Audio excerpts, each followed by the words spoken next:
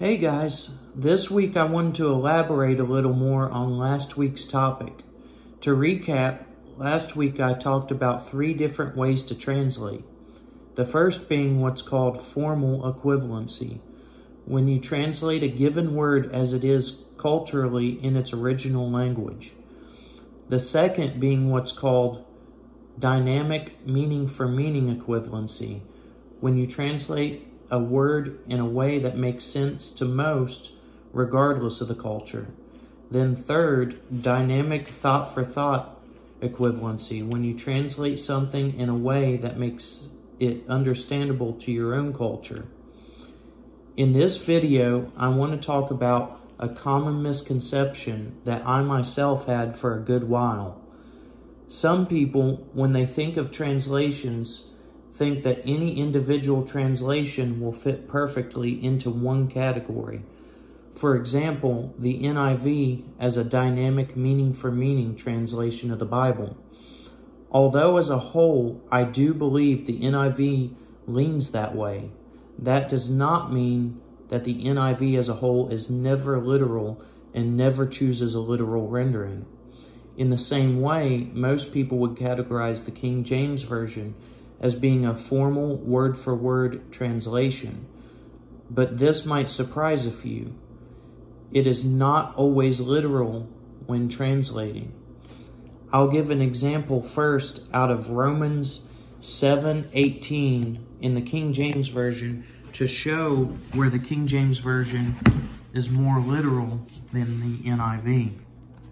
Okay, first in the King James Version in Romans 7:18 it says for I know that in me that is in my flesh dwelleth no good thing for to will is present with me but how to perform that which is good I find not.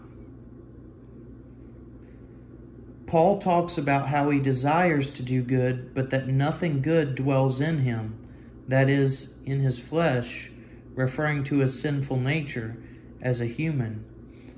Now, in the NIV, let me get that out. It says down here at 18,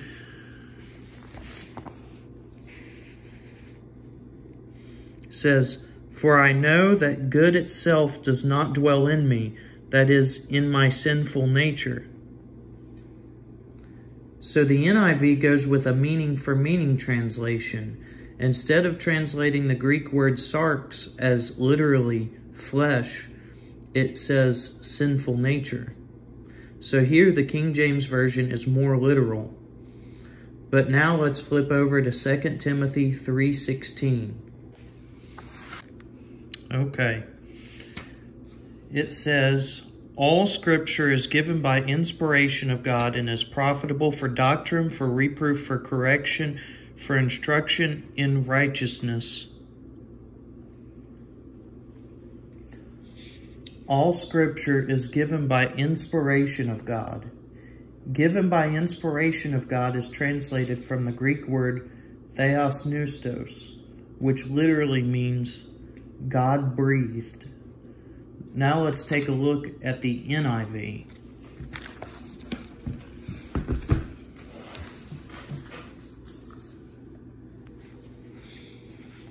It says, All scripture is God-breathed and is useful for teaching, rebuking, correcting, and training in righteousness. So here we have an example of the NIV being more literal than the King James Version in this case. These are just two small examples of how translators can make different translation decisions. And there's many more than that. Why I wanted to make this video is to show that no translation is bound to one of these three translation philosophies. They all take liberties of translating in this regard, while at the same time staying faithful to what was originally written.